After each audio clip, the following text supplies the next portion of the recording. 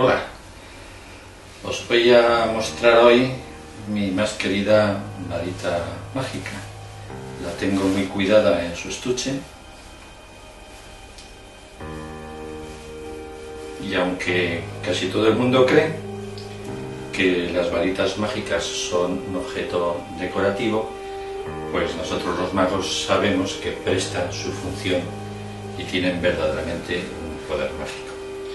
Esta, por ejemplo, si se frota un poco entre los dedos,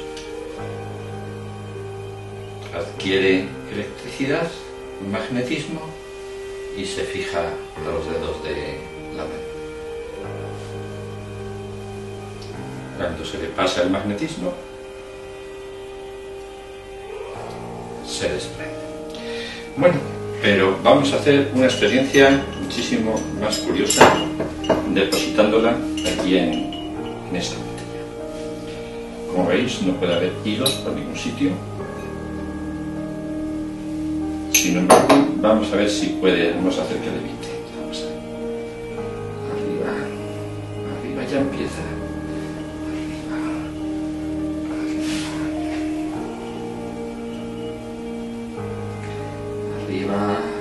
Te asustes. Baja, baja, baja, baja. Descendió. Sube, sube, sube, sube. No hay hilos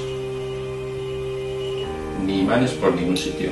Vamos a ver si incluso cerrando la botella con. Sube, sube, sube, sube, baja, baja.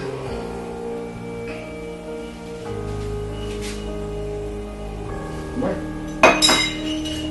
estas son las propiedades de esta magnífica varita que puede incluso magnetizar objetos como este, este anillo.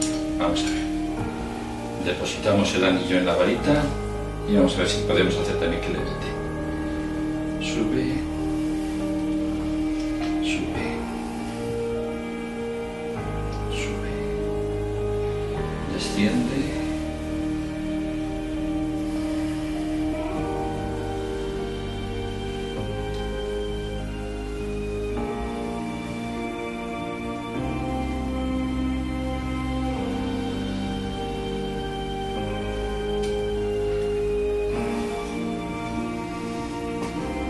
Maravillosa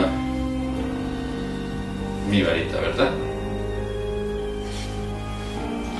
Bueno, también podemos hacer equilibrios de una bola en la, varita. Vamos a ver si lo conseguimos. A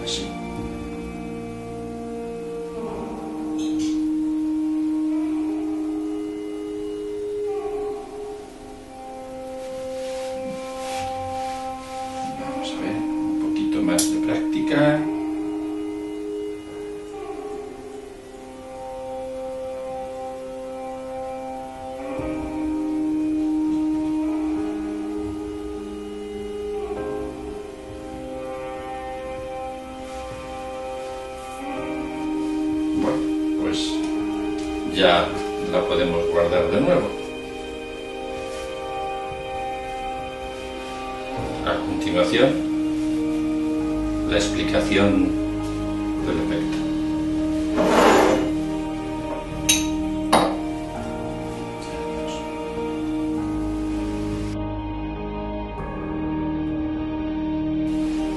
Lo primero, que se peguen los dedos es una cosa muy fácil. Eh, solo se necesita un poco de práctica. Una varita, algo fino, un boli, bolígrafo Bic. Y entonces lo único que hay que hacer es simular como que flotamos, que se carga, y luego lo que se sujeta apoyando entre este dedo y este dedo y una ligera flexión de estos otros dos. Queda sujeta y parece mágicamente pegada a los a los a los dedos pero en realidad la tenemos sujeta, aflojando la presión se desprende. En cuanto a las levitaciones, pues lo que necesitamos es un hilo invisible. Supongamos que esto es un hilo invisible, al que aplicamos un poco de cera de mago en uno de los extremos.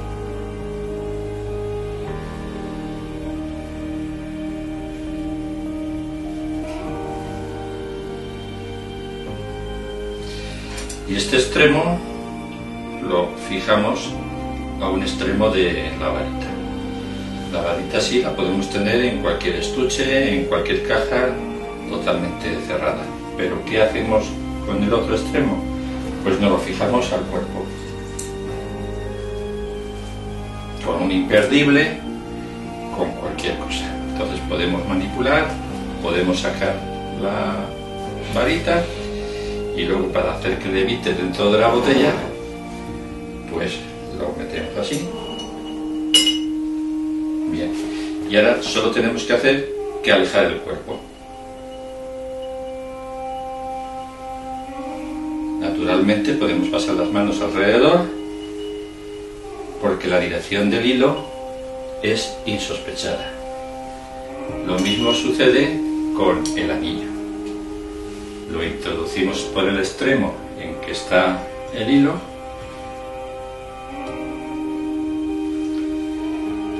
y ahora ya alejando la varita o alejando el cuerpo o ambas cosas el anillo sube y baja. Otro de los efectos que podemos conseguir con el hilo invisible puesto de esta forma es lograr que una bolita haga equilibrios sobre la varita. De esta forma sujetamos así el hilo, depositamos la bola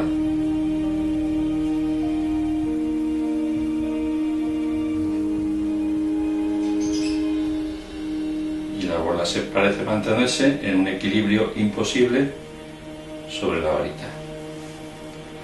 Luego desprendemos la cera y podemos dar todo a examinar. Espero que os haya gustado.